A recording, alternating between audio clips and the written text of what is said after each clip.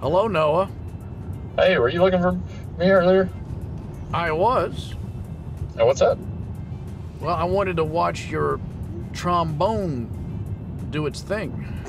Oh yeah. Uh, well, are you? Where are you at? I'm uh, outside. Are you really? I don't see your car. That's because it's with me. Oh, are you drive me crazy? And out of context, I know he's referring to the piece you edited of us playing that game, Trombone Champ, but just yeah, Lee here's saying. I want to see. here's see. a clip of that for anyone that needs to see that context. Here's a clip. Oh my gosh, I freaking. How soothing is classical music? I am soothed right now.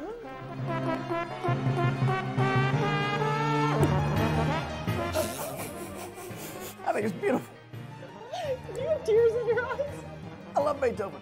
The big finish, Lee, the big finish.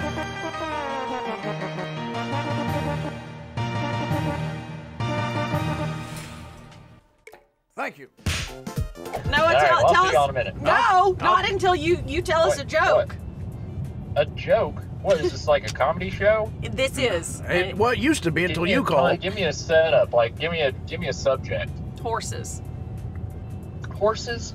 What do you call a horse? Uh, shoot. Uh, what do you call a horse? He's horse? googling it right now. I guarantee he's holding the phone in his shoulder and he's googling. A joke.